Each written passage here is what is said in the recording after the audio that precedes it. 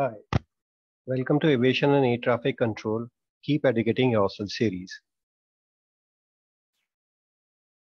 This lecture is about minimum sector altitudes. Minimum sector altitude shall be established for each aerodrome where instrument approach procedures have been established.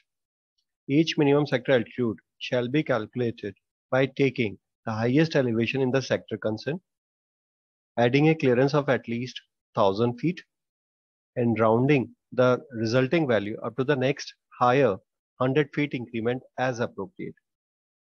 A minimum altitude shall apply within a radius of 25 nautical mile of the homing facility on which the instrument approach is based. The minimum obstacle clearance when flying over mountainous area should be increased by as much as 1000 feet.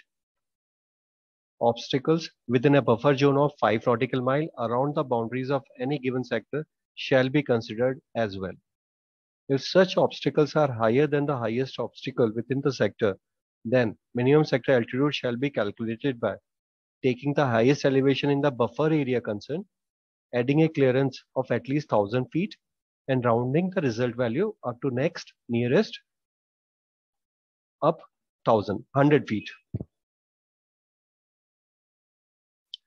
The sector should normally coincide with the quadrants of the compass.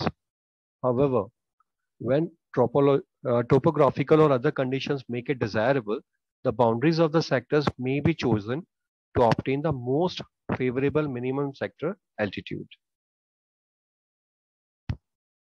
In sectors centered on a VOR-DME or NDB-DME, it is possible to define an additional boundary based on DME arc within a sector dividing the sector into two subsectors with the lower MSA in the inner area. The DME arc radius, capital R, used should be between 10 and 15 nautical mile in order to avoid the use of subsector of too small a size. The width of the buffer area between the subsectors remain 5 nautical mile.